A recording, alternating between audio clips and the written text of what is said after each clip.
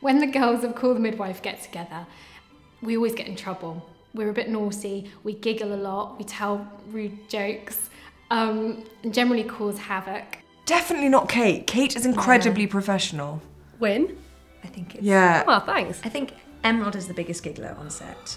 I do think you are. I don't, Unfortunately, I think you are. It's really It really, bad. really Jenny Agutter's depends. quite Jenny bad. Agutter is Surprisingly- Depending on how you. and Judy Parfitt. Oh, when she, lo- gets. when she also- goes, She's got this smile that when it cracks Yeah. into this It's- smile, she just like it just It's mischief appears. personified. Oh my gosh! It's amazing. yeah. I was, I was, I'm thinking about um, the bit of comic relief you were talking about earlier. Yes. That was interesting to film from extreme temperatures and your extreme costume. My costume!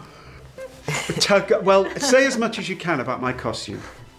Let's just say if he was wearing it in public nowadays, people would not smile at him or want to associate with him.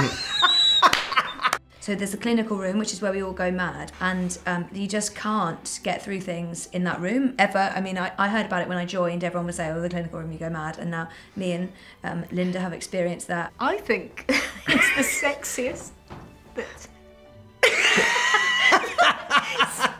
Patrick and Shelagh have ever almost got.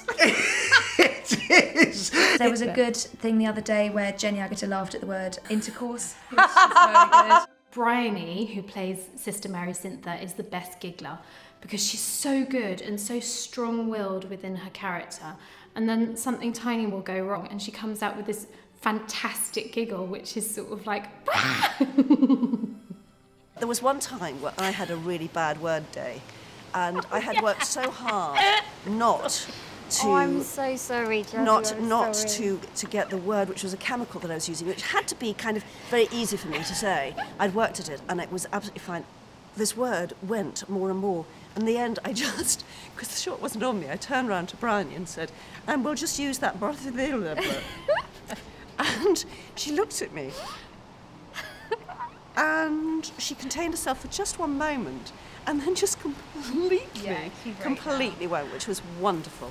But the problem is just catching anybody. If you, we know each other so well now that if you mm. just see the, the Oh, yeah. slightest See someone twitch in the corner of somebody's mouth, that's it. You've gone. It's terrible. I feel also I think you laugh more when you're doing drama because there's more at stake. So it's not. It's mm. like the tension's higher, so when it breaks, it's very good. and I'm not sure how the men on set always cope with that.